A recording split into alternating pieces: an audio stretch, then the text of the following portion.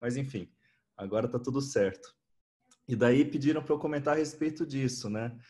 Que é sobre pico, flutuação, média de pressão que devemos considerar. Isso aí é uma coisa que, que, que é importante, porque hoje em dia, quando a gente fala de, de medir pressão, uh, vocês vão ver que pressão é uma coisa muito mais complexa do que só encostar a pontinha do tonômetro lá por alguns segundos e partir do pressuposto que aquela medida equivale ao que a gente vai encontrar aí por três, seis meses, que é o intervalo de, de uma consulta para outra em geral, né? Ela é tão complexa que daí a gente fica naquela dúvida se faz mini curva, se faz curva completa, medida isolada, prova d'água, teste provocativo, e aí vai, né? Então é curioso porque com tanto aparato que a gente tem hoje, né, OCT, uh, ah, campo visual, a gente tem tantas opções aí, e no final, o basicão, que é o medir a pressão para a maior parte dos pacientes, ainda gera algumas dúvidas. Então, uh, eu acho que vale a pena a gente fazer uma reflexão aí sobre a questão da pressão intraocular, e vocês vão ver no final algumas mensagens que eu acho que vão ser muito importantes para o dia a dia do, do consultório, tá? É, deixa eu passar aqui para frente. Então, uh, na verdade, a pressão intraocular não é um valor único, né? Uh, no prontuário está lá, só uma medida, né, dos nossos pacientes, naquele horário que a gente mediu e pronto, né? Mas, na verdade, a pressão intraocular é uma sequência numérica que acontece 24 horas por dia, 7 dias por semana, e assim vai, né? Seria fácil se essa pressão ficasse estável o, o tempo todo, mas não. Né? Como vários parâmetros do nosso organismo, ela tem uma variação circadiana, né? Então, a pressão ela varia ao longo do dia. Então, a gente tem um, um, um parâmetro numérico que não só ela não se repete, como ela tem flutuação ao longo do dia, né? E esse, esse é um gráfico do estudo do, do, do, é, do, do laboratório de sono, lá de San Diego. Eu estava conversando com o Felipe Medeiros ele estava comentando que esse laboratório do sono, ele é como se fosse um quartinho de hotel com fogão, com, com cama, televisão, e o, o paciente ficava lá para tentar simular da melhor forma possível o dia a dia do, do, da rotina dele em casa, né? E daí, nisso, eles estavam tentando entender a questão da pressão intraocular, mas veja que é uma coisa antiga, né? Esse artigo é de 2003, tá? Mas mais para tentar entender a questão da variabilidade da pressão intraocular, da flutuação da pressão intraocular, tá? Então, eles têm vários estudos, é uma série de estudos, eu peguei esse aqui e tirei ainda alguns, alguns pontinhos para ficar mais fácil, tá? Mas, basicamente, é para mostrar que tanto, tanto portadores de glaucoma quanto pessoas normais têm variação da pressão intraocular. Tá? A variação da pressão ela acontece de todo jeito. Tá? É que, de uma forma geral, a pressão dos pacientes, ah, das pessoas que não têm glaucoma, ela tende a ser mais baixa. Mas veja que tanto em glaucomatosos quanto em normais, o pico pressórico acontece nas primeiras horas da manhã. A gente está cansado de falar sobre isso, né? E é por isso que se advoga tanto a necessidade de fazer uma curva tensional de 24 horas. E nesse sentido, Belo Horizonte sempre foi, né? A escola que advogava e que advoga em, alguns, em algumas situações a importância da curva de 24 horas, que isso é, isso é inegável, né? Por quê? Porque o pico pressórico acontece nas primeiras horas da manhã, quando o paciente está dormindo, quando o nosso consultório está fechado, né? E se o paciente acorda e, e vai para a lâmpada de fenda, já mudou tudo, esse pico já se perde. Né? Então, a gente teria que ir lá e medir com o tonômetro portátil, com o paciente em posição supina, antes mesmo dele, dele se levantar e fazer a higiene dele e ir para o hospital, né?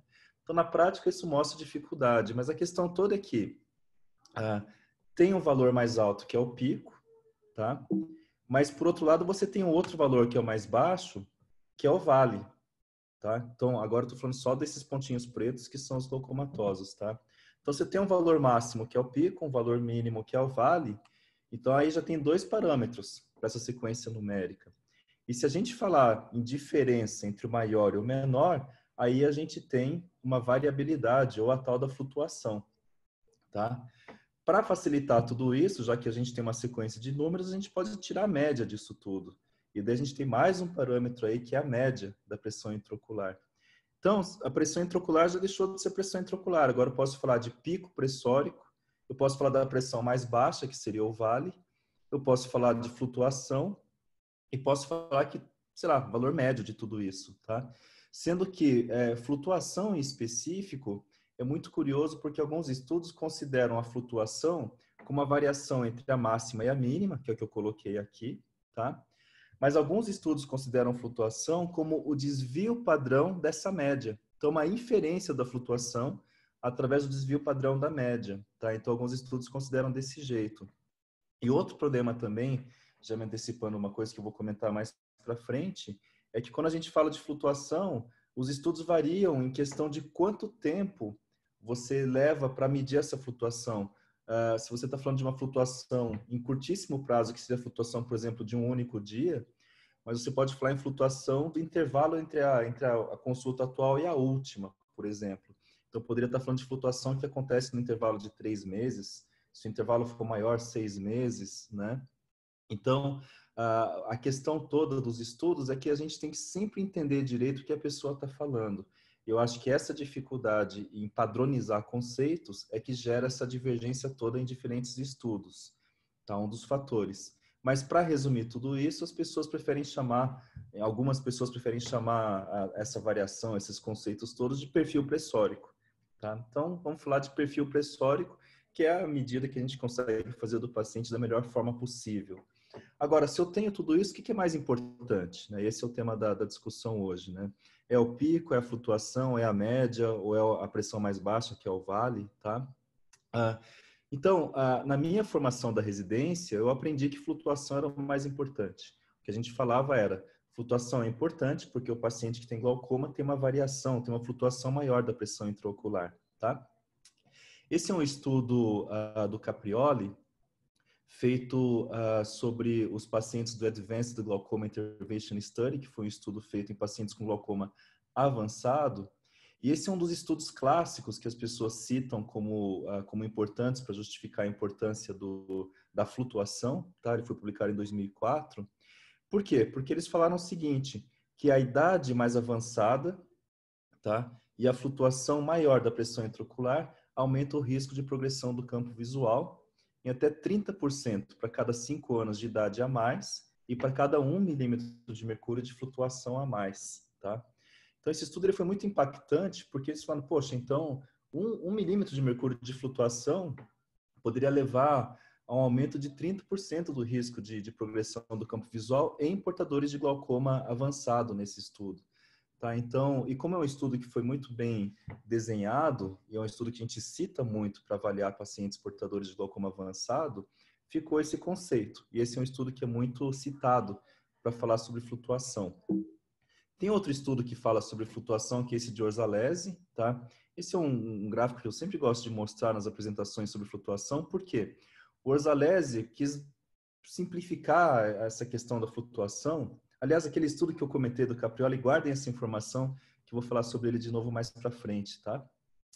Mas o Orzalesi, ele fez o seguinte, ele falou, olha, é fácil entender a importância da flutuação. Imagina que a gente tem pessoas, ah, uma pessoa A e uma pessoa B, e os dois com a mesma média da pressão intraocular, tá? Aí o que ele falou é o seguinte, olha, se você tiver uma pessoa, o paciente A, flutuando um pouquinho aqui, ó, tá? Ele flutua pouco, e não vai desenvolver glaucoma, não vai piorar do glaucoma, por quê? Porque ele não chega nessa zona de risco. Ele chamou de zona de risco o nível pressórico que colocaria esse paciente em risco de piorar o glaucoma ou desenvolver a, a, a doença, tá? Então, é, é, ele, ele falou o seguinte, bom, se flutua pouco, o paciente não chega nessa zona de risco. Porém, o paciente B, que flutua mais, mesmo tendo a mesma média pressórica que o paciente A, por ter uma flutuação maior, ele atinge essa tal de zona de risco e, portanto, ele tem uma, um risco maior de ter uma lesão glaucomatosa ou piorar a sua lesão glaucomatosa, tá? Então, é, essa questão toda de flutuação foi bem exemplificada por aqui. Ele chamou de zona de risco. Se a gente pensar bem, essa zona de risco aqui são os picos pressóricos, ó, que estão acontecendo aqui, tá? São os picos de pressão mais alta. Então, na verdade, a, a gente pode até é, usar o mesmo gráfico para falar mal de flutuação. Tá? Então, eu gosto de fazer essa brincadeira aqui no mesmo estudo do Orzales e falar o seguinte, então tá, então agora a gente pega dois pacientes com médias diferentes, porém com o mesmo nível de flutuação. Paciente A é, com uma média de pressão mais alta, paciente B com uma média de flutuação mais baixa. Os dois com a mesma flutuação, ó, tá? Daí você poderia falar o seguinte, bom, flutuando do mesmo jeito, porém com uma pressão mais alta, ele também atinge essa zona de risco, tá? Para piora. Que na verdade são os picos pressóricos. Então, na verdade, a gente for pensar o que, que esses pacientes têm em comum, é a aproximação dessa zona de risco, que seria a aproximação dos picos pressóricos, tá? Uh, então, com isso, eu posso falar mal também de, de, de, de flutuação e posso falar, mei, posso falar que é mais importante a média, tá? Posso falar bem da, da média. Sendo que, na verdade, a gente parar para pensar, tudo está relacionado uma coisa com a outra, né? Se eu tiver mais picos com uma frequência maior e mais altos, eu vou jogar a média para cima. Então, na verdade, a média, ela decorre da presença dos picos, tá? E se eu tiver uma flutuação grande, com vales mais baixos, eu posso puxar a média para baixo também. Então, na verdade, uma coisa puxa para outra. E matematicamente falando, é tudo primo um do outro aí, né? Uma coisa influencia a outra, não são coisas isoladas, tá? Mas o fato é que com o tempo, cada vez mais começou a ser falar da, pressão, uh, do pico pressórico como fator de risco para progressão. Então, a gente tem esse estudo do Gustavo de Moraes, de 2011, onde ele foi analisar pacientes com glaucoma tratados, né? Ele viu que, na verdade, tudo era importante. Uh, média, pico e flutuação. Porém, na análise multivariada, o pico pressórico era o mais importante. Então, ele falou, olha, para a progressão, o pico pressórico ele foi o fator de risco independente mais importante tá mais importante do que a média ou do que a flutuação. Tem estudo do Felipe Medeiros, tem outros estudos, tem uma quantidade maior de estudos mostrando que o pico pressórico é o mais importante em termos de fator de risco para progressão, quando estou falando só de pressão intraocular, tá?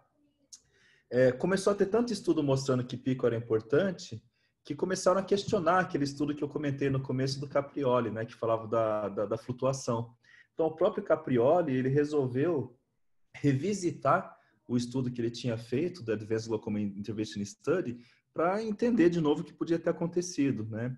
E ele mesmo, depois de quatro anos, ele põe outro artigo agora falando que, na verdade, ó, a flutuação ela foi associada com progressão de campo visual, sim, só que só em pacientes com a pressão é, média mais baixa. Né? Lembra daquele desenho ali que eu mostrei, né?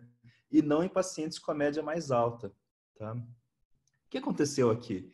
Aí, se a gente pensar bem, o que aconteceu nesse estudo foi o seguinte: no Advanced Glaucoma Intervention Study, os pacientes tinham uma média de pressão e tinham uma flutuação acontecendo, tá? Ia lá a flutuaçãozinha.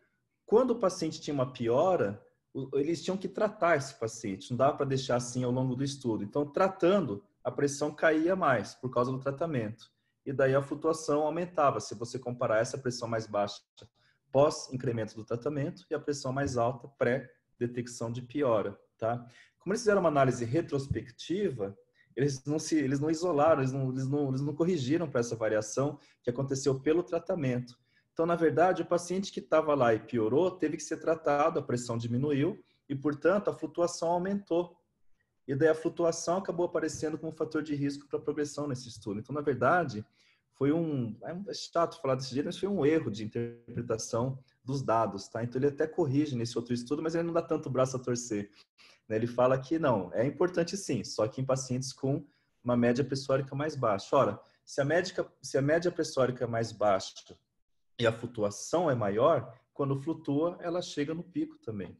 Então, no final da história, acaba sendo o pico pressórico mais uma vez. Tá? Então, tá aqui, olha, ele falou, não, na verdade, a flutuação é importante para quem tem a média mais baixa. Então, de novo, flutua, chega aqui em cima, na tal da zona de risco dorsalese, que na verdade é a zona dos picos pressóricos. Né? As pessoas podem mudar de opinião.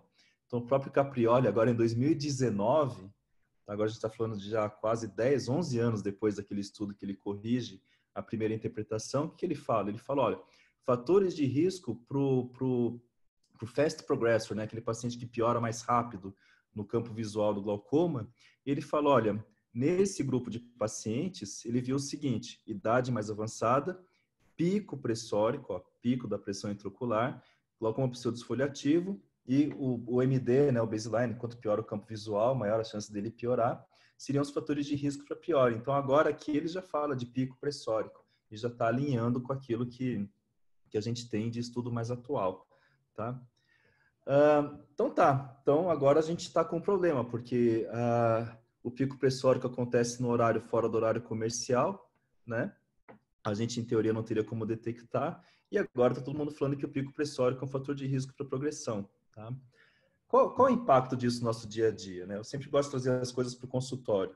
Uh, esse estudo de 2006, do grupo do Robert Rich, ele fala o seguinte, nos pacientes com doença avançada, tá? Vê que é tudo sempre relacionado a glaucoma avançado, tá? Ou com progressão, né?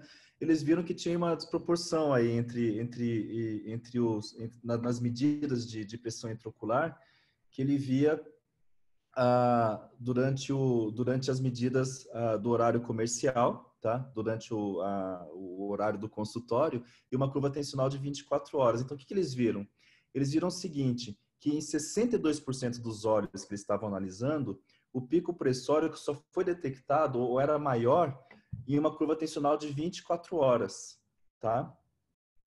Uh, e esses picos não eram detectados em horário comercial. Então, 62% dos olhos tinham picos que só eram detectados fora do horário comercial, numa curva tensional de 24 horas. Tá? Uh, qual a importância disso? Que era tão alto que em 36% dos pacientes tiveram que trocar o tratamento. A gente pode pensar também um pouco diferente, que é o seguinte, eles não tiveram que trocar o tratamento em 64% dos pacientes, ou seja, vamos com calma também, porque não significa que detectar um pico significa que todo mundo vai piorar. E esse é um ponto que eu acho que tem que ser lembrado quando a gente vai falar de prova d'água um pouquinho mais para frente. Tá? Então, assim, eu só vou detectar com uma curva tensional de 24 horas esse pico, tá? em 62% dos pacientes. Nesse estudo em específico, o pico era alto o suficiente para indicar mudança de tratamento em 36% dos olhos. Tá? Mas, ok, isso mostra que eles tinham uma chance de perder o pico pressórico em pelo menos 60% dos olhos. E é por isso que hoje eu particularmente eu já não faço mais mini curva, porque se a mini curva vier normal, a chance maior é que eu não detecte o pico pressórico, não porque não existe essa, esse pico pressórico, é porque em 60% dos olhos, em teoria, ele está acontecendo fora da minha capacidade de medir esse, essa pressão no meu dia a dia, tá? Uh, e, eu, e, a preocupação maior é que eu posso perder um pico pressórico que, pelo menos nesse grupo, nesse, nessa amostragem, teria que mudar o tratamento em 36% dos olhos, tá? Ou seja, eu poderia perder um grupo importante de pacientes que são aqueles que, de repente, alguém fala, poxa, a pressão estava tão boa e o paciente está piorando, né? Está piorando porque o glaucoma é assim, ou porque a pressão de perfusão, ou porque, sei lá, começa a inventar mil teorias e, de repente, é porque está tendo um pico pressórico alto uh, o suficiente para mudar o tratamento, tá? Então tá, aí a gente tem esse problema então. O que, que eu tenho que fazer? Faço mini curva, faço medida isolada, faço uma curva tensional de 24 horas, né? Então aí vamos falar um pouquinho de cada uma das coisas aqui, tá? Então, curva tensional de 24 horas, ela seria uma avaliação quase perfeita do perfil pressórico. Quase perfeito porque a gente sabe também que a pressão muda, ela pode mudar relativamente rápido, de forma que, de repente, mesmo fazendo uma de 24 horas, nada me garante também que eu medi exatamente no momento daquele pico, né? E na prática diária, a gente sabe que não é totalmente factível, né? A gente pode conseguir fazer isso no hospital escola, para um paciente ou outro, a gente está preparando para um congresso, mas o nosso dia a dia do consultório vai ser complicado, né? Imagina aí que eu tenha, sei lá, 30 pacientes, vamos, vamos falar um 20 pacientes num período, tá? e desses 20, metade sejam pacientes com glaucoma. Tá? Imagina que eu vá começar tratamento para todos eles. Então, 10 pacientes eu faria a curva de 24 horas aonde, né? Aí eu vou colocar tratamento, vou refazer depois para ver se funcionou ah, o meu tratamento aonde, quando, quem, quem vai fazer isso. Então, na prática, a gente sabe que é muito difícil, né? Por isso a gente cai na história da mini curva. Né? A mini curva seria uma avaliação mais fácil, Porém, como teve aquele estudo do grupo do Robert Pitt, você pode perder 60%, tem estudos sugerindo até 70% dos picos a gente pode perder com uma curva, com uma mini curva, né? E eu estava brigando, eu, brigo aí com, com os residentes, eu sei que eles são bem atarefados, que começa a virar quase uma micro curva, né? Porque a ideia era fazer, sei lá, cinco, seis medidas ao longo do dia, quando você vê você tem duas, três, num período bem espaçado, né? Então é complicado, a gente sabe que mesmo a mini curva é difícil. Seria mais fácil, então, fazer medida isolada, né? Você faz uma medida isolada, fala para o paciente, ó, oh, você está bem, né? Mas, na prática, se eu perco 60%, 70% dos picos fazendo várias medidas ao longo do dia, eu tenho que pensar da seguinte forma. As pessoas gostam de falar que é um, o, o, a medida isolada é um tiratema, é uma, é uma foto única de uma sequência que acontece em 24 horas, né? Eu prefiro falar que é um jogo de azar. Se a gente pensar em números, eu tenho aí um saco cheio de números e vou pegar um, né? Eu parto do pressuposto que esse um está adequado para o meu paciente ou representa o todo de intervalo entre uma consulta e outra, que a gente sabe que pode demorar aí três até seis meses, né? Dependendo se o paciente está estável ou não. Então tá mais para um jogo de azar, né? Então tá, então tá, vamos, vamos, vamos atrás da flutuação, ainda quem acha que flutuação é importante, né? Eu não sei como medir a flutuação, tá? Porque se eu quiser medir a flutuação verdadeira, então eu teria que fazer uma curva tensional de 24 horas para detectar a máxima e a mínima, né? Se eu fizer a mini curva e a partir, e a partir da, da mini curva eu tentar calcular a, a, flutuação, já que eu perco esse pico, na verdade essa flutuação vai estar achatada, né? Então não vai ser lá uma, uma flutuação verdadeira, né? Uh, eu também não sei o que, que, é o mais certo, se é uma flutuação em curto prazo, que é o mais importante, ou seja, uma que acontece ao longo de um dia, ou se é ao longo prazo, que acontece entre, sei lá, uma visita e outra, ou entre um estudo aí de cinco anos de acompanhamento, eu não sei, né? E daí alguns estudos falam que o ideal então é fazer uma, um desvio padrão, porque você fazendo o desvio padrão, você reduz os erros estatísticos, né? Você diminui o bias, né? Por quê? Também o problema da, da flutuação é que de repente eu estou incluindo nessa medida os outliers, que é aquela medida mais alta que veio porque o paciente pressionou o olho na hora de medir a pressão e depois foi a mais baixa porque, sei lá, eu pinguei, diluí demais a fluoresceína, né? Eu fiz alguma coisa assim. Então, eu excluindo os outliers, em teoria eu reduzo o risco de estatisticamente eu ter um erro, né? Mas ao mesmo tempo eu posso perder uma informação muito importante que é o pico pressórico, né? E de novo, eu não sei quantas visitas são necessárias para ter um desvio padrão que consiga representar a flutuação verdadeira. Ou seja, todos os métodos têm problema, todos eles têm problema, tá?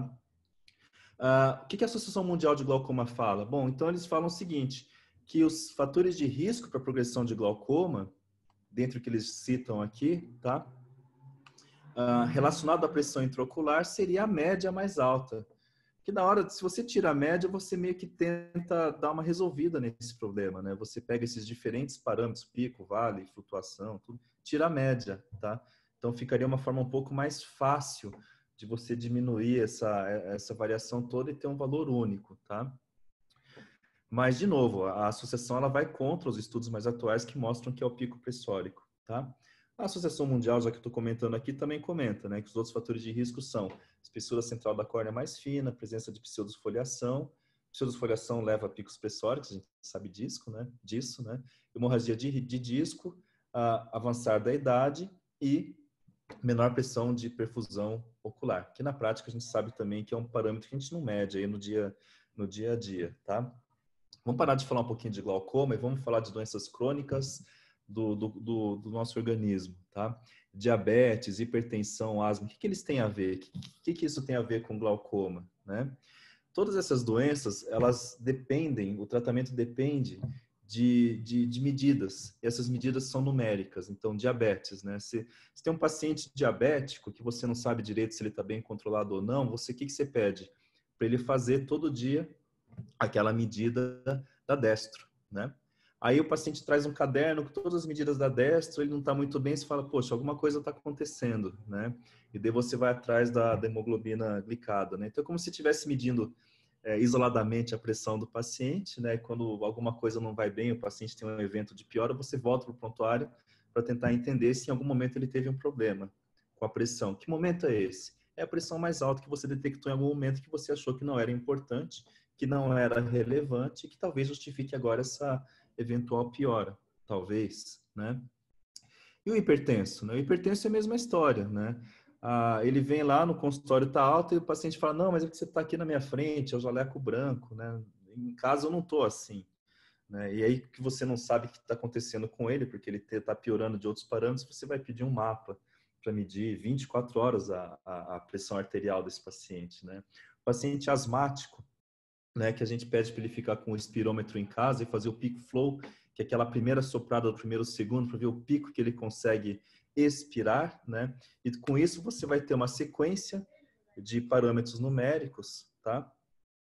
Para tentar analisar e entender melhor se esse paciente está estável ou não, né? E qual que, qual que, que, que acontece? Todos esses pacientes eles têm como medir a pressão, a, a pressão arterial, a glicemia, o, a espirometria em casa, né? A gente não tem como medir a pressão intraocular em casa até hoje, né? Mesmo aqueles portáteis, a gente sabe que tem alguns problemas ainda. Está chegando, mas ainda não é o que a gente tem no nosso dia a dia. Né? Curiosamente, todos esses exames, todos esses, todas essas doenças também têm testes é, provocativos. Né? Então, se você não sabe se o paciente é um pré-diabético, hoje tem muito esse conceito, porque abaixaram né, o limiar da, da glicemia para diabetes, aí você vai lá e manda o cidadão fazer o teste de tolerância oral à glicose, não é isso? O paciente tem aí um, uma dor pré-cordial que você não sabe se é uma, uma angina, você coloca ele na esteira, manda fazer um esforço e mede lá o que está acontecendo naquele momento. Né? O paciente da, o asmático, você pode lá induzir, colocar ele naquele, naquela câmara uh, e fazer um, um, um, exame de espirometria, né? E induzir, inclusive, em algum momento, até um broncoespasmo, né? Então, são situações que você tenta colocar o paciente num, num momento de estresse para ver o que acontece com ele, para quê? Para ver se ele tem um evento que possa ser um indicativo de uma futura piora, de uma futura progressão que seja, tá? É, por que estou falando sobre isso? Dá uma olhada nesse caso aqui. Esse caso é um paciente que foi muito emblemático do nosso ambulatório do hospital, porque olha só, 15 anos de acompanhamento. A gente colocou nesse gráfico a pressão mais alta que foi detectada nas visitas daquele ano. Então, em 2001, quando começou o tratamento, era quase 20 aqui, ó, tá? No olho direito. Foca mais no olho direito, porque é o que tem esse, esse defeito maior do nervo óptico, tá? Tem uma perda bem importante inferior. A foto está cortada aqui, mas ele tem um ROIT que justifica esse defeito de campo visual, tá? É, aí o que, que você vê? Pressão de 20 do olho direito, que é o amarelinho, colocou medicação, aí em 2002 já estava próximo de 15, subiu um pouquinho aqui, acharam que para esse paciente estava muito alto, já acrescentaram latanoprosta, pressão diminuiu, alguns anos depois ela aqui subiu um pouquinho mais, foi acrescentada brimonidina, Aí, medicação máxima, manteve, né? Porque o paciente ficou aí no máximo de 15, tá? Só que se a gente olhar a progressão do campo visual, veja que ele já começou mal e continua piorando. Não é aquele paciente totalmente fast progressor, não é aquele paciente que está piorando muito rápido, né? Tem que ir com um pouco de calma, porque com tudo isso de acompanhamento, já está na hora de refazer o baseline e dar uma checada nessa caída aqui, tá? E não nessa caída mais lenta por causa desse baseline aqui, tá? Mas, de qualquer forma, é um paciente que está piorando de todo jeito. Mas por que, que ele está piorando se a pressão dele agora está 12? Né? Então, alguma coisa está acontecendo. Aí começa, né? ah, deve ter alguma coisa sistêmica, pressão de perfusão, glaucoma é assim, né? Ah, o ângulo pode estar fechando e agora é um glaucoma de ângulo fechado, isso acontece, tá? Alguém esqueceu de vegonioscopia, tá? Mas ah, o mais básico aqui é que, aí, bom, vamos lá. Ah, a gente resolveu fazer o teste sobre carga hídrica nele o paciente chegou a 26, tá? Poxa, 26 me chama atenção, né? Uh, de repente, talvez fazendo aí uma curva tensional de 24 horas eu chegasse nisso, ou de repente aumentando a frequência de medidas de pressão intraocular e detectasse algum pico aí. Em algum momento esse pico se perdeu, tá? E eu acho que faz sentido pensar que esse paciente não está com a pressão bem controlada, tá? Pelo menos eu tenho um dado mais palpável para dizer se ele está uh, piorando ou não, tá? Bom, para quem não, não apoia, não gosta da ideia de fazer um teste sobre a carga hídrica, no mínimo, se eu vejo esse paciente chegando a 26, eu vou ficar mais atento com ele. Eu vou pensar o seguinte, que embora ele não tenha uma progressão, uma taxa de progressão tão rápida aqui nessa caída, eu vou ficar mais atento porque esse paciente está chegando a 26 e pode ser que isso aqui mude de uma hora para outra, tá? Então, no mínimo, vai mudar meu nível de atenção com esse paciente. Então, acho que o recado aqui, independente de se a pessoa quer usar um teste provocativo ou não, é que a gente tem um dado a mais para ficar mais atento com ele. Eu, particularmente, já faria alguma coisa, um SLT, por exemplo, tá? Ou tentar mexer na medicação. Mas se a pessoa acha que não, esse pico, vamos com calma, lembra daquele estudo que eu comentei do Robert Rich, né? Um, ele mudou o tratamento em 36% dos olhos, né? Então, se quer ir com um pouco mais de calma, no mínimo eu vou ter que colocar nesse paciente aquele, aquela marquinha de que esse paciente tem que ser acompanhado com mais cuidado, tá? Eu acho que isso, eu acho que essa é a pegada principal, né? Por quê? Né? A gente tem um estudo que foi feito em 2005 mostrando o seguinte: ah, aqui eram pacientes que tinham a pressão alvo ah, mais baixa, tá? A pressão alvo, a pressão alvo dele, ah, esqueci desse estudo aqui ele tinha uma pressão alvo definida de menor que 15, tá? E daí o que a gente viu foi a quantidade de picos que estavam acontecendo fazendo ou a mini curva ou teste sobrecarga hídrica. Então, vamos esquecer sobrecarga hídrica para quem não, não, apoia a ideia. Vejam que só com a mini curva, esses pacientes que tinham pressão documentada, que a pressão alvo era, tinha que ser menor do que 15, quando a gente foi olhar o que acontecia com a mini curva, olha só, a mini curva acontecia em pelo menos é, ó, 15% dos pacientes e conseguiu chegar a 18, ou seja, foi estabelecido pelo, pelo quadro clínico que o ideal era menor do que 15, né? E 15% desses, desses pacientes estavam chegando a 18, ó tá? Uh, quase 40, chegando a mais do que 16. E induzindo esse aumento com, com a sobrecarga hídrica, a gente chegou a uma frequência maior, ainda maior de picos pressóricos, tá? Isso nos levou a, pensar que talvez valesse a pena a gente não só ou prestar mais atenção numa mini curva, que naquela época a gente não tinha esses dados que a gente poderia perder tanto pico pressórico assim, e a gente passou a olhar com mais carinho para o teste de, de sobrecarga, tá? É, falando um pouco mais sobre carga hídrica, ah, uma coisa que sempre se questionava era o volume de água, né? Qual que é o volume ideal e até que ponto o índice de massa corpórea poderia interferir nas medidas, né? A gente fez um estudo e pelo menos no nosso grupo a gente uh, detectou o seguinte: acima de 800 mililitros de água, como se o pico não, não mudasse mais, como se você chegasse no limite do olho, tá? É, limite que, que, que você não atinge fazendo é, a 10 ml por quilo, nem com 600 ml, tá? É por isso que hoje a gente fala em 800 ml, tá? Uh, e esse estudo também mostra o seguinte, que o pico pressórico, a gente perde pico pressórico fazendo, fazendo prova d'água ainda, tá? Melhor, fiquei até contente quando eu vi isso, que se a gente tivesse mais pico pressórico com a prova d'água, eu ia ficar preocupado de estar hiperestimando com o teste sobrecarga, tá? Mas na nossa amostragem também, ah, não teve influência do índice de massa corpórea. Por isso a gente continuou utilizando o teste, tá? Tem uma sequência de estudos nossos mostrando reprodutibilidade do, do teste, tá? Tanto num período curto, como foi o que eu medi, que é 24 horas, tanto num período um pouco mais longo, que dá 4 a 6 meses, que é esse estudo do, do Mirko Babit, tá? De 2015. Uh, ah, tem um estudo Tá vindo uma mensagem aqui de que a conexão ficou meio instável. Se tiver alguma coisa, me avisem, tá? Uh, tem um estudo que foi feito por um grupo da Espanha que chegou num dado, num resultado muito semelhante ao nosso. Tem um estudo da Unicamp que, embora o resumo diga que uh, uh, o teste não era reprodutível, a reprodutibilidade foi muito parecida com a nossa, tá?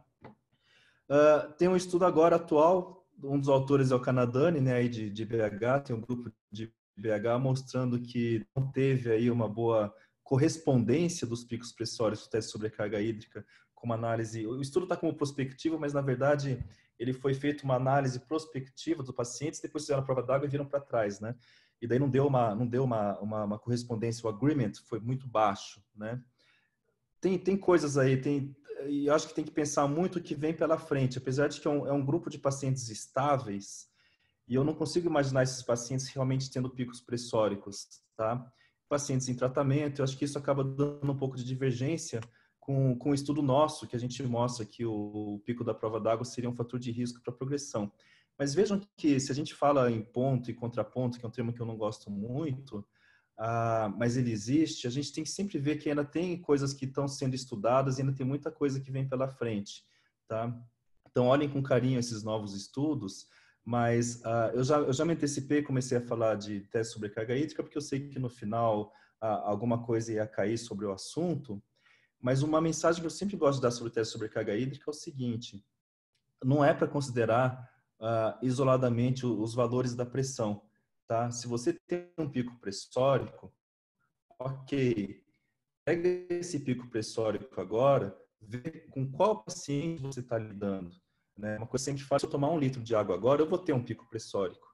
Até onde eu vi meu nervo recentemente, não está tão esquisito ainda, tá? E a pressão está controlada. Então, assim, para mim, esse pico pressórico talvez não vá ter um problema.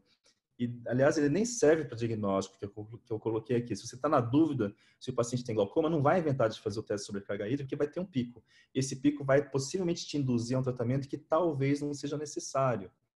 Tá? Então, ele não serve para diagnóstico. Ele não substitui autotestes provocativos, tá? Ele também não serve para determinar de forma isolada a pressão-alvo, tá? Então, não adianta só fazer um, uma sobrecarga e chegar num pico e esse pico você achar que vai, vai ter que tratar e começar até a pesar a mão demais o tratamento. Por isso que eu frisei muito a questão do estudo do, do Robert Rich, que o pico que eles encontraram em 24 horas, eles trocaram o tratamento em, em 36% dos olhos, né? E nesse caso que eu mostrei para vocês também, vamos ver com calma agora esse pico pressórico, vamos no mínimo mudar aí a frequência de tratamento, embora esse aquele caso específico, acho que a gente não tem tempo para ficar aí só acompanhando, eu já mudaria o, o, tratamento. E uma outra mensagem que eu tenho aqui, que eu acho que vale muito a pena comentar, é o seguinte: é, uma vez falaram o seguinte, bom, a, a gente está num nível de excelência tão grande de análise funcional e estrutural que de repente a gente pode começar a falar de outros biomarcadores. Né? O que, que é isso?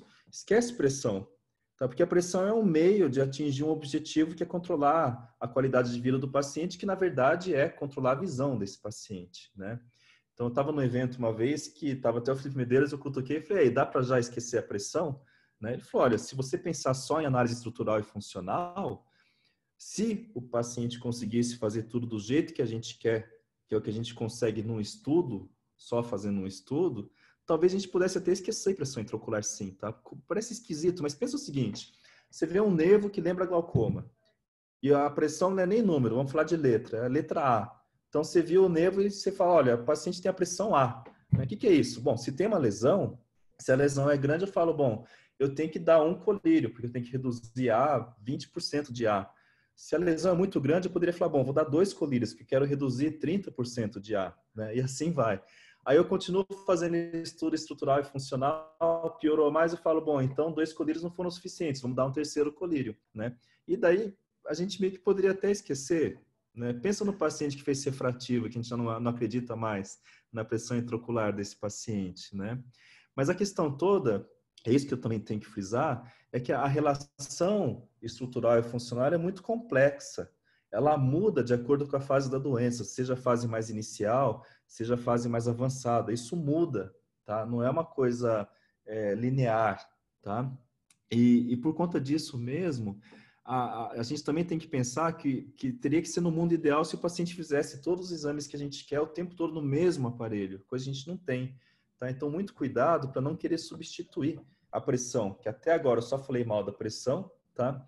Por outros métodos, porque na prática ainda a pressão é um fator muito importante, tá? Ou seja, independente do método que a gente tem aí para medir a pressão intraocular, o que eu comento é que quando tiver uma, uma, uma, forma mais adequada e melhor de medir a pressão intraocular, eu vou ser o primeiro a medir, tá? Não sei exatamente qual vai ser essa, essa, essa, esse método, mas por enquanto o que a gente tem é medida da pressão intraocular no consultório, porém, sempre com essa ressalva. Tem sempre que lembrar que a medida que a gente faz no consultório pode ser incompleta, e muito provavelmente é. Tá? Então, especialmente aquele paciente que você está vendo, que tem aí um risco maior de progredir, porque ele já tem um campo visual mais comprometido, porque tem familiar que ficou cego por glaucoma, porque não usa direito medicação, tenta estreitar mais os retornos e meça mais vezes a pressão intraocular. Tá? De preferência, vai acrescentando outras medidas eu sou de uma escola que tem uma linha de pesquisa de, de sobrecarga hídrica, eu faço a, a, prova de sobrecarga hídrica na grande maioria dos meus pacientes do, do consultório. Eu deixo anotado qual foi a pressão que ele chegou e considero essa pressão que eu encontrei como um fator aí para me deixar mais atento com o paciente. E vou marcando quais são os pacientes que eu tenho que ficar mais atento, tá? Uh, mas eu acho que todas essas ressalvas com relação à pressão intraocular fazem a gente ficar sempre com a pulga atrás da orelha com relação a esse parâmetro, tá bom? Acho que é isso que eu tinha que falar para vocês sobre pressão intraocular. Dá tempo ainda para alguma... Dá, dá para discutir sim, professor. Muito obrigada, ótima aula, muito sensato, né, nas suas ponderações. E é muito importante, a gente tem mais de 180 pessoas aí escutando sua aula, e é justamente isso, né? Que a, a PIO, a gente fica atrás de uma PIO-alvo ideal. Lembrar que essa PIO-alvo ela é, ela é mutável, né? Durante o, o tratamento. A gente tem que avaliar né, a perda estrutural e funcional do paciente e mudando essa pressão. É, o glaucoma não é uma receita de bolo. Ela é um Exato. conjunto de coisas e que a gente, um conjunto de, de, fatores de risco e tudo, e a gente tem que moldar entre elas o que, que vai ser melhor para o nosso paciente, né? Achei super sensato o raciocínio inteiro. Tem muita questão ah. aqui, mas a maioria já respondeu, né? o, o Marcelo. Vou fazer, vou fazer igual o Emílio, viu? Abrir um vinho aí na, na foto do Emílio, porque a sua aula é, é linda, né? Encantadora, né? eu, o Cleo, posso só colocar algumas questões práticas para ajudar quiser. a gente no raciocínio? Uhum. O Marcelo, só porque é, a, gente, a gente sabe o tanto que você já falou sobre esse assunto, né? E, mas a, a aula, apesar dela ser muito clara, só pensando no, do ponto de vista dos residentes, é, quando é que você, por exemplo, faz o TSH? Né? Por exemplo, porque você coloca naquele slide muito bem colocado a questão de não fazer às vezes como diagnóstico, né? O pessoal, eu sinto que o pessoal confunde muito isso e eu acho que é por isso que gerou tanta discussão ao longo do tempo. Então, na sua Exato. prática mesmo, assim, vamos falar receitinha de bolo pro pro, pro fellow que está aqui nos ouvindo, assim, em que casos nós vamos usar e quais são as suas considerações práticas mesmo, assim, para a gente no dia a dia? Olha, o, o paciente que eu mais uh, que eu mais gosto, entre aspas, assim, de falar, olha, esse é o que precisa, é o que eu vou começar tratamento.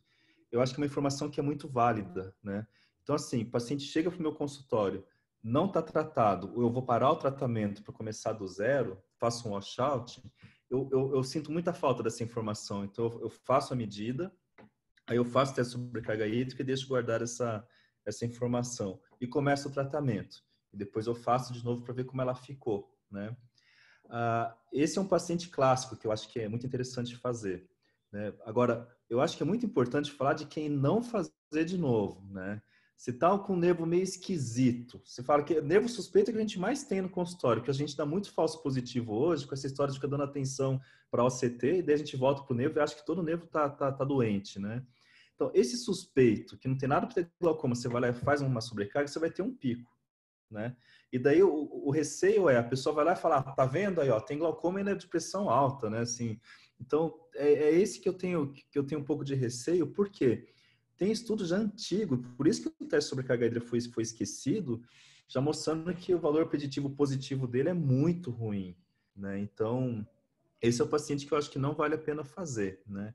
Então, eu sei que tem glaucoma, a suspeita é muito forte de glaucoma a ponto de eu começar a tratar, aí eu acho que é muito interessante fazer. Outro paciente que eu acho que é interessante é aquele que está estável, imagina você não faz, tá? Uh, e é difícil fazer, tá? Porque no nosso dia a dia é um tempo que você vai despender aí também, né? Vai ter que ficar com o paciente, vai tomar água, vai começar, né? Mas eu tenho aquele paciente que eu estou acompanhando há muito tempo, a pressão está sempre boa. De repente ele vem com um campo que piora, você repete o campo piorou, você fala, caramba, por que, que ele piorou na minha mão? Né? Você fala, parece que está tão bem. Aí, em geral, a gente começa a jogar culpa nele, falar, ah, você não está usando o colírio direito, né? Alguma coisa assim, né? Mas uh, eu acho que é interessante fazer, porque às vezes você encontra um pico pressório que você fala, poxa, tem alguma coisa acontecendo aqui. Né? Então, esse é outro paciente que eu acho que é bem, bem interessante também. Tá? Marcelo, outra pergunta prática. Você, você comentou isso durante a aula, mas é, como que você faz, por exemplo? Você mantém um volume de 800 ml para todos os pacientes? Você tem algum horário de preferência que você faz? A, a variar o horário vai influenciar no, no, algum resultado? Como é que é a sua experiência? Então, eu tenho, eu tenho, eu, por, por questão de consultório. Então, quinta-feira à tarde, o paciente volta para medir pressão, minha secretária já sabe que possivelmente é o paciente que vai fazer a, a sobrecarga. Eu, eu meio que tentei patronizar para tentar manter no mesmo horário, né? O estudo da Unicamp que eu comentei rapidinho, ah, ele mostra que em horários diferentes eles não tiveram uma, um agreement, né, uma correspondência boa do pico pressórico. Mas eles não tiveram um agreement bom em 30% dos pacientes, né? Ou seja, mesmo mudando horário, em 70% teve uma correspondência que ficou dentro de 3 milímetros, né? Mas eu tento padronizar. Eu uso 800 ml. Obviamente, se paciente, eu pergunto se o paciente tem restrição hídrica, se ele tem insuficiência cardíaca, tudo quanto é coisa que tem restrição hídrica não vai tomar, né? E tem gente que fala, ah, mas é muita água, mas vamos falar que quando a gente está lá fazendo ultrassom por algum motivo, tá cheio de gente com, com pressa, querendo fazer logo ultrassom, e alguém fala, ah, tem que encher a bexiga, o cara vai tomando água, né? Para fazer logo seu o intervalo, Seu intervalo de jejum, duas horas? Não, pelo menos duas horas que é o que tem estudo, né? Uh, aí com isso a gente meio que padroniza alguma coisa, mas não tem nenhum estudo comparando uma, duas, três horas de jejum, quatro horas, né? Então uh, é mais para ficar alinhado com o que tem de estudo, tá? Olá, boa noite. Posso fazer uma perguntinha? Estão me ouvindo? Sim. Então, eu gostaria de saber, Em relação é, ao, quando a gente está fazendo as medidas, do nada, às vezes o paciente quer o banheiro. Assim. Isso influencia ou não? A princípio, não. Eu imagino que não, né? Aliás, uma coisa que eu sempre falo para o paciente também, eu falo, porque isso assusta, viu? Tem muito paciente idoso que fala, nossa, quer dizer que não posso tomar, não posso tomar água em casa, né? Eu sempre falo, olha, você não toma água desse jeito, né? Então, eu ainda brinco e falo, olha, a não ser da cerveja de metro do Oktoberfest, né? Que o cara toma rapidinho, né? Eu sempre falo, olha, não é o teu padrão do dia a dia, né? Mas quando o paciente fala de ir para o banheiro, você já aproveita e fala, olha, se tiver que ir para o banheiro, vá normalmente, né? Uh, um, é, um porque eu já vi muito... uma, algumas diferenças já, uma redução, às vezes, da pressão depois de ter ido ao banheiro. Obviamente, não fiz estudo nem nada, não vi, assim, um, uma margem de muitos pacientes, mas eu meio que eu percebi isso. Eu não sei se você já percebeu isso eu imagino que não teria relação, né? Porque pelo menos os estudos que sugerem né, o mecanismo desse pico pressórico, ah, embora a medida seja muito pequena, a gente entende que é o método da medida. Em teoria, o que está acontecendo, na, tem dois ou três estudos já mostrando isso, é que você tem um engurgitamento do, do da, da, coroide ali, né? Então, pelo menos isso acontece, né? Eu não sei até que ponto isso vai influenciar na questão da, da pressão intraocular, mas ah, de fato não é uma coisa que a gente imagina que vai que vai atrapalhar. Mas esse é um dos motivos de, de crítica ao uso do teste de sobrecarga também, né? A gente não sabe exatamente por que, que esse pico acontece. Né? Então, Ô, Marcelo, a gente fez uma, um preliminar, assim, primeiro, primeiro, parabéns pela aula, foi excepcional, como sempre. A gente tentou fazer um, uma, uma, um estudo piloto, a gente não chegou a nenhuma conclusão, como você está falando, também justamente para isso que você falou, de, de explicar o porquê que dá o pico. Então a gente tinha duas teorias. A primeira teoria é que realmente a função trabecular reduzida, se você tem um trabeculado que não, não consegue absorver o excesso de líquido que é produzido naquele momento, é, ele realmente bloquearia o, o, a drenagem da, da, daquele excesso de volume momentâneo e a pressão aumentaria. E a gente buscaria, através de exames de imagem, né, a gente vê se teria tipo uma abertura maior do seu camelular, tipo se teria um aumento da câmara anterior, né? Tentou fazer isso com Pentacan, depois com a CT de câmara anterior, a gente não conseguiu com os aparelhos que a gente tinha isso. E a outra hipótese é essa que você comentou, do engurgitamento da coroide, que poderia também fazer o engurgitamento do corpo ciliar e fecharia o seu camelular, em alguns casos, né? Teria um pequeno estreitamento, o que faria naquele momento um, um aumento de pressão e a gente não, não conseguiu. Assim, realmente a gente não conseguiu, a gente nem prosseguiu porque a gente não conseguiu provar nada nesse, nesses estudos pilotos. E você mencionou ali da questão do, da, do índice de massa corporal. É, logo quando o Remo começou a falar disso, eu cheguei a fazer um estudo piloto que ele até me pediu os dados e a gente acabou perdendo esses dados. E realmente o estudo, o índice de massa corporal, no, piloto que nós fizemos, também não, não deu muita diferença, porém, no obeso, a gente dividiu lá, eu não lembro o índice de massa corporal, mas no obeso o pico era mais tardio.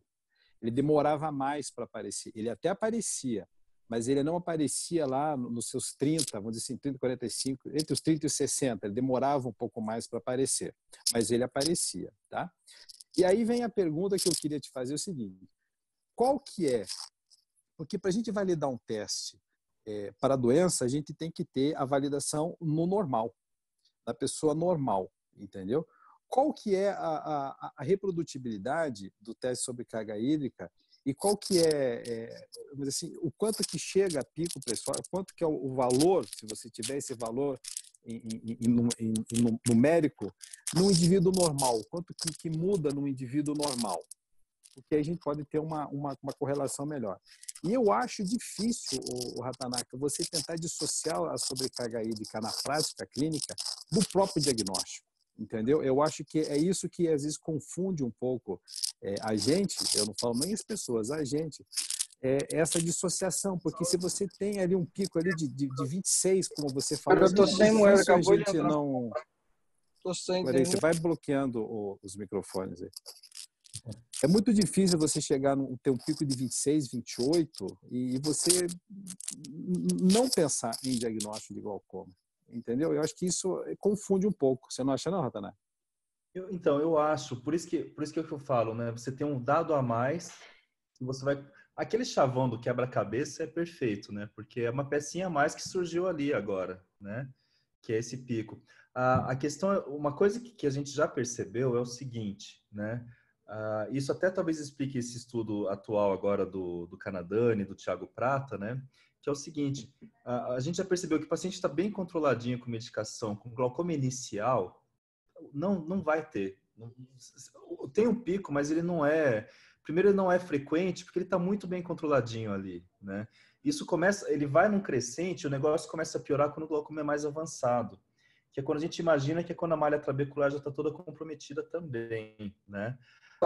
Só, só concluindo, né? É, eu, eu, comentando que é isso, né? A pessoa normal, ela, ela realmente não tem um pico pressórico muito alto, não, né? E, e quando o paciente é suspeito e vem um pico muito alto, é aquele que eu falou, talvez essa suspeita seja um pouco mais suspeita, né, do que, o, do que um suspeito não tão suspeito, né? Então, é aquele, ele é aquele a mais que eu deixo guardadinho lá.